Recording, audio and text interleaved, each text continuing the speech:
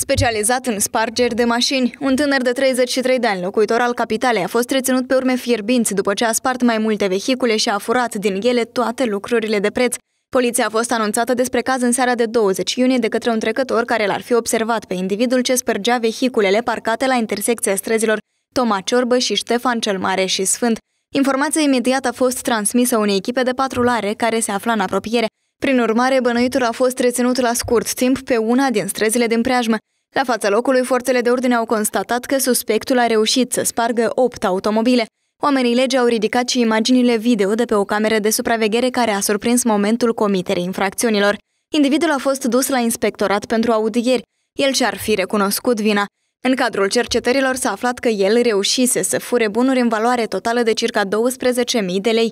Tot în cadrul investigațiilor s-a mai aflat că individul a ieșit din pușcărie în luna noiembrie 2020, unde și spășise pedepsa pentru o altă infracțiune. La moment, pe numele suspectului sunt deschise două dosare penale pentru furt și șase procese contravenționale pentru deteriorare intenționată a bunurilor străine.